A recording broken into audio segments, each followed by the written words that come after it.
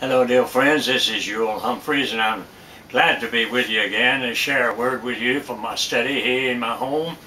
And I, I've entitled this short message to you today on, on the subject that we're to show our faith. We're to show our faith to others. If we're Christians, we ought to allow others to see that we're Christians. And we ought to show our faith by the way we live. I'm reading from the book of Luke, the fifth chapter, and in verse uh, 17, it, and Jesus, it came to pass on a certain day, as he was teaching, there were Pharisees and doctors of the law sitting by, and uh, the power of the Lord was upon Jesus to heal the sick. And uh, behold, two men brought in a bed, a man which was taken with palsy and was paralyzed. And they sought means to bring him in and to lay him before Jesus. But when they could not get in because of the crowd, they went upon the housetop and let him down through the ceiling with his couch into the midst before Jesus. And when he saw their faith, he said unto them, Your sins are forgiven you. And so here's a picture of Jesus sitting in a house talking, and uh, his fame had spread throughout the land, and there were people all in the house crowded in, and there were people all around outside trying to hear and trying to look in the windows and to see and to hear the words that he came to, that he came to speak. And uh, here came four men, who each one of them carrying an end of the couch, a, a man that was paralyzed and could not walk. But they loved this man and they and they believed that Jesus could heal him. They had heard about him giving sight to the blind and healing the leper and, it, and they brought him to the house but they couldn't get in because of the crowd. So they went around and walked up the stairways to the roof and tore a piece of the tiling off the roof and big enough to let him down and, and they let him down with ropes. Everybody stopped and started looking up and Jesus stopped talking looked up and here they were letting this man down from the ceiling and it laid him down at the feet of Jesus and uh, I never said a word. They just laid him down there through the rope. city. he, was laying there looking at Jesus. And Jesus, the Bible says, when he saw their faith, now he not only did the four men believe, but the man himself believed. He was willing for them to let him down there because he believed that Jesus could heal. And so when Jesus saw their faith, you see, he sees our faith. Jesus knows what we believe. And if we don't believe, he knows that. And if he believes, if we believe in him, he knows that. He knows everything about us. And we need to recognize that he knows our thoughts, he knows our heart. And he knows whether we believe in him or not. So believe in him, dear friend. And not only will you know it and others, but mainly Jesus will know it. He saw their faith. He realized they believed. And he knew they believed in him. I want you to believe in Jesus. The Bible says, He that believeth is not condemned. But he that believeth not in Jesus is already condemned. Condemned to death in hell. But oh, by the grace of God, he that believeth on the Son of God is not condemned. He is saved forever. So believe on the Lord Jesus as your Lord and your Savior. Believe that God loves you. Believe that the Lord loved you so much he gave his son to die, to pay for your sins. Believe that he loved you so much he went to that cross and there died for you and in your place. He took all your sins and nailed them to his cross. And by his stripes we are saved forever, and by his stripes we are healed. And so the man looked up to Jesus, and Jesus looked at him, and he said, Your sins are forgiven you.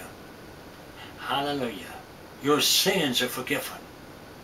He knew the man believed in him. And he said, your sins are forgiven. The greatest thing that God can say to you, dear friend, is your sins are forgiven, all of them. All of them forgiven. All of them, all that you've ever committed or ever will commit. All your sins are forgiven. Hallelujah. You'll not face him in the judgment because Jesus paid it all on the cross. He paid for all your sins. Be forgiven. Be forgiven. Your sins are forgiven. Now when he said that, the Pharisees and the Sadducees, they were standing there and they could not uh, understand that at, at all. And uh, they said, uh, the Pharisees said, Who is this that speaketh blasphemy? Who can forgive sins but God only? Well, they were right. Nobody but God can forgive sin. But Jesus was God in the flesh. He was God. Incarnated means God in the flesh. And God had come down to walk the streets of Jerusalem and the shores of Lake Galilee in the form of the Son of God. Yes, it was God who was able to forgive. And uh, Jesus knew what they were thinking. You see, he knows our thoughts. And he said to them, whether which is easier to say, your sins be forgiven you, or to say unto this man who cannot walk, and has not walked for many years, rise up, take up your bed, and walk. Now, either way, it would be impossible. Which is easier, to say your sins be forgiven and forgive them, or to say, take up your bed and walk? Either one would be an impossibility to man. But Jesus said this, that you may know that the Son of Man has power on earth to forgive sins. He said to the sick of the palsy, I say unto you, arise, take up your bed, and go into your own house.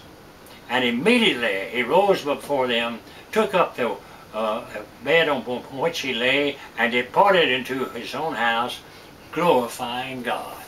So Jesus looked at the man and said, Rise, take up your bed and walk.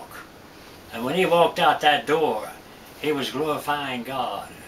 And the people that heard it and said it knew that his sins had been forgiven. Because he who was able to say to the paralyzed man, get up and walk, had the power of God himself to say your sins are forgiven. I want you to know, my dear friends, Jesus has the power to forgive your sins. All of them. All of them. All of them.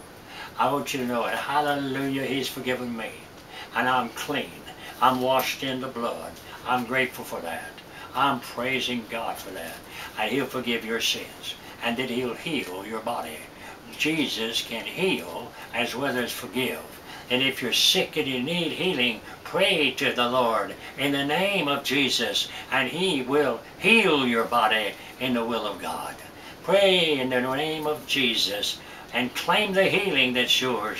When he died upon the cross and his blood was shed for sinners, he died to save us from sin. And also a bonus, and that is that his blood, his stripes, heal us. And we are healed of our sickness and disease in the will of God. And so pray for that.